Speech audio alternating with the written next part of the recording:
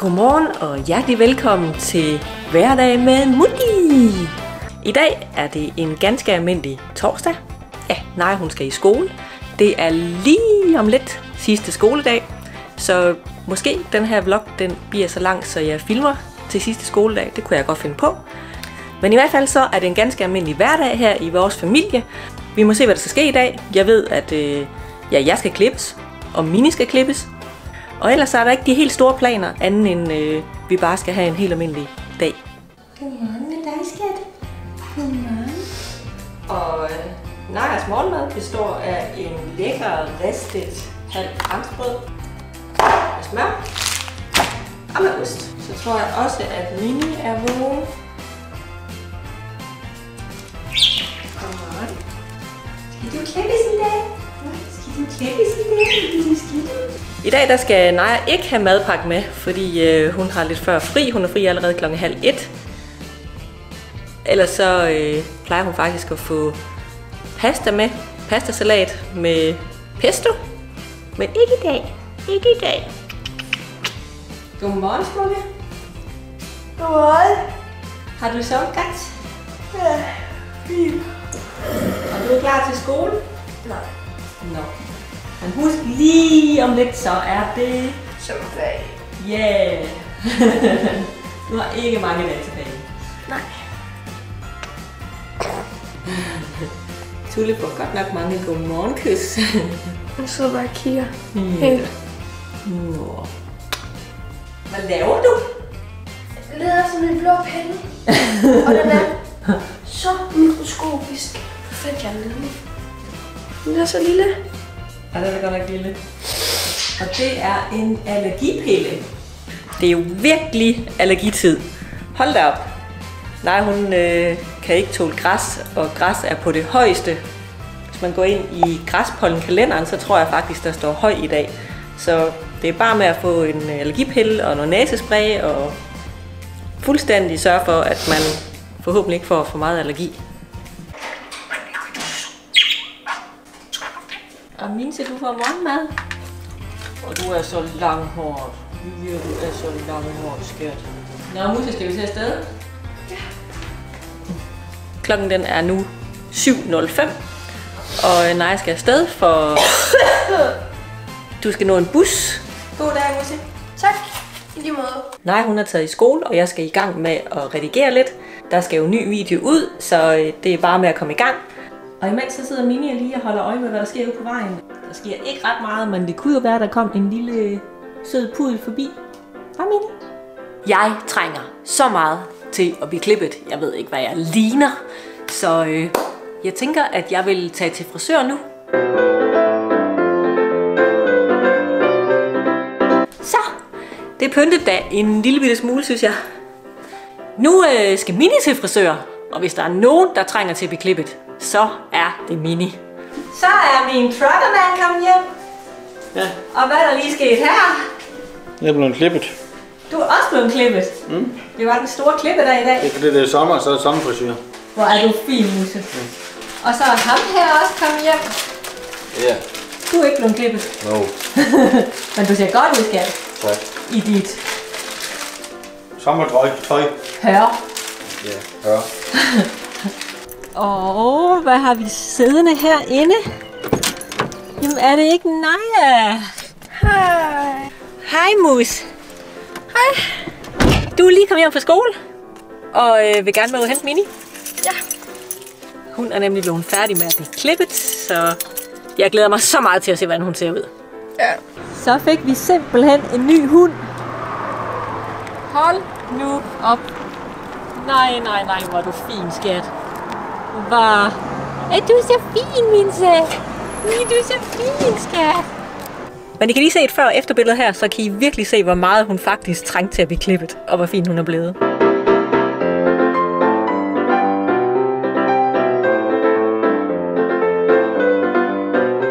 Klokken er nu øh, 10 minutter i 5, og øh, jeg har fyreaften.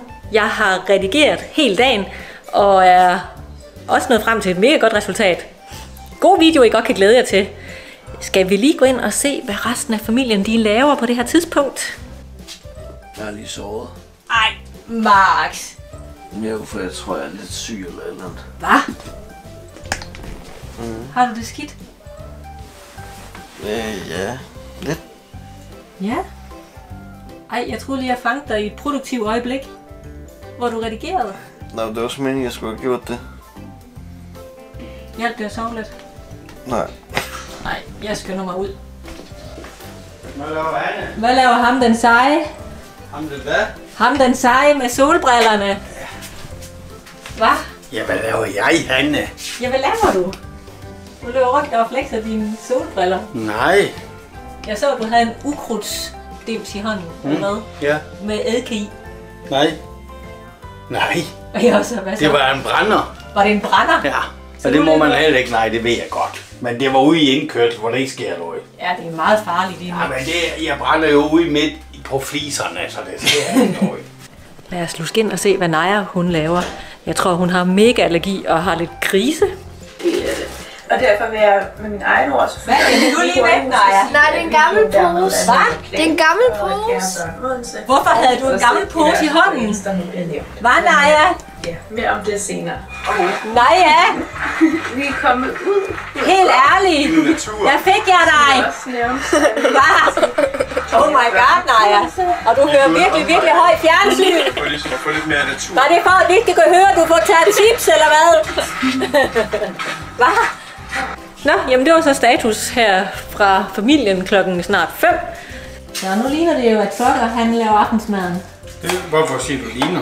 Fordi det er jo, du ligesom bare overtaget det, fordi du lige skulle skære noget purløg. Ah, jeg har da også puttet salt og peber og jeg vil i. Wow. Og lidt sindrup. Jeg laver også mad. Pizzabrød og kylling. Yes, sir. Og hvad Det skal godt. vi have? Kold kartoffelsalat. Og Frikadeller. Mm. Min sidder gemmer sig under stolen, fordi hun ved godt, at hun ikke må tikke. Nå, gør hun. Nej, ikke helt, kan jeg se. Dinner is served. Ja, ikke så ringe endda. Musse, hvad laver du? Pandekager. Pandekager. Og det var fordi, du ikke gad at have frikadeller. Ja. Det her, det var lige en nemmere løsning. Det er også meget sundere. Jeg kan finde ud af at lave pandekager uden opskrift. Det, er det vidner om, at du har lavet mange pandekager. Ja. Nej, jeg har fået spist hendes pandekager og er ved at vaske op. Det er færdigt nu. Max, Jeg er lige fanget i et svagt øjeblik. Du skal ned og træne. Yes. Og Trucker han er løbet op på sofaen for at se fjernsyn. Og øh, så sker der faktisk ikke ret meget mere i dag. Så jeg tænker lidt, at øh, den her hverdag med Moody, den kan sagtens fortsætte, når øh, nej, hun har sidste... Skoledag! Woohoo! Så øh, bloggen fortsætter, men øh, lige fra i dag, der er det hej hej. hej hej. Hej, hej. Godmorgen. Det er en ny dag. I dag er det den 23. juni. Og den 23. juni, hvad betyder det så? At det er sidste skoledag i 7. klasse. Oh my god! Crazy, crazy! Og hvad, hvor lang tid skal du være i skole? Så skal jeg være i skole til kl. halv 11. Vi skal spise morgenmad, vi skal synge ferie. Ferie, ferie. Den der mega gode banger. Øhm, og så får vi sommerferie i 7 uger, og så skal vi tilbage til 8. Yeah! Ja, som I nok kan fornemme, så bliver det jo en dejlig dag i dag. Mutti har taget træningstøj på, og skal lige ned og være lidt fitness mamma. Og ellers så øh, sker der store ting i dag. Det er jo sådan, at øh, Leila, hun er jo lige blevet student, og i dag, der kommer studentervognen her hjem. Så det bliver crazy. Det bliver en vild dag. Så Max og jeg, vi får rigtig travlt. Men øh, nu er ind og få Mini ud af kassen, og så i fitnesscenteret ned med pigerne og rrt, ferie, ferie, ferie. Slap nu af, fri og synge en glad melodi. Nu drøner vi imod bussen Ja, og kører om 4 minutter. men du skal så også lige 3 stoppe. minutter. Du skal lige stoppe ved Johanne. Stop, Johanne. Hvor bor Johanne? Johanne, hun bor En deroppe. gang til. Ja. Elsker dig. God dag. Hej. Hej, hej. Hej, hej, bestis.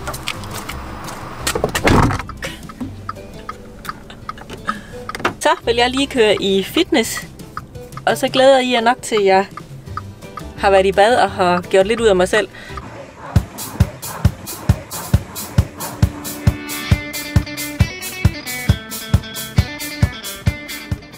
Puha, det var hårdt at være i fitness, men nu er det overstået, og øh, jeg har været i bad. Jeg kan se, at Max han faktisk øh, er smuttet ind til dimission, så øh, jeg venter jo lidt på, at han skal komme hjem, fordi så skal vi jo i gang med at pynte op til, at studentervognen kommer kørende her klokken halv to. Men øh, nu vil jeg lige bestille pizzaer til dem, og øh, så var det jo egentlig heller ikke så længe før, at nej, hun kommer hjem igen, for hun har jo tidlig fri. Og jeg tror, der sidder rigtig mange mødre derude, som har det ligesom mig i dag, der sådan tænker, sidste skoledag, 7. klasse er slut. Hvor blev tiden af? Jeg forstår ikke, at min lille pige er ved at være så stor og skal til i 8. klasse. Det er jo crazy. Jeg synes lige, vi skal have et billede af, da hun startede i skole i 0. Og så et billede fra i dag. Tiden går. Vi skal huske at nyde vores børn. Vi skal huske at nyde hinanden. Det er bare sådan noget, man tænker på sådan en dag som i dag. Så er Max kommet retur fra dimissionen. Halløj. Hvordan gik det? Det gik godt. Kom der en lille tårer? Nej, jeg var lidt, lidt ved at falde i søvn. Ej, var det kedeligt? Nej, det var fordi, at jeg gik i seng klokken 1. Er du frisk nu? Nej. Men Max, vi har æderhug med travlt. Og jeg ved også, at Naja, hun er på vej hjem med bussen. Men øh, nu er vi i gang med at pynte, og øh, det kan I se inde på Max's vlog. Ja. Hej Musse! Hej! Så er sidste skoledag slut. Ja! 7. klasse done. Og syv uger sommerferie startede nu. Klokken er. Nu går vi tøj og sådan noget. Men... Kan du fortælle om din oplevelse på vej hjem fra skole? Ja, Leila, der kom en studentervogn, og så følte jeg bare, at jeg kunne se en, der virkelig hoppede. Og sådan, jeg kunne bare se, at alle havde blå huer på, så jeg tænkte, det kunne godt være Leila.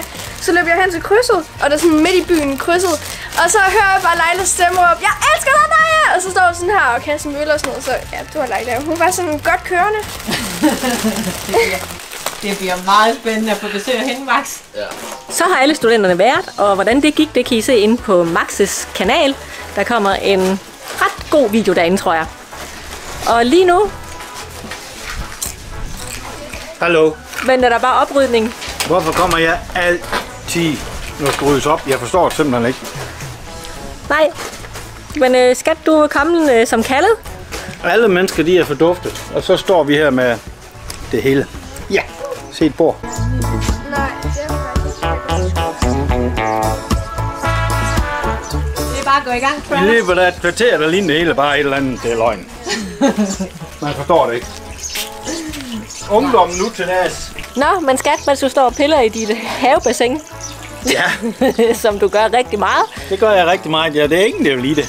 så tænker jeg, at den her hverdag med Moody, den øh, sidste skoledag, er slut. Ja, Der sker ikke så meget mere i dag. Nu er det sommerferie for alle skolebørn, og rigtig, rigtig god sommerferie til alle jer, der ser med. god sommerferie til alle sammen. Nu har I masser af tid til at gå ind og kigge øh, Moody og Truckers øh, videoer, Ja, så det gør skal det. jeg også lige gøre. Ha' det rigtig godt. Adios, Pas amigos. på jer selv. Hej hej.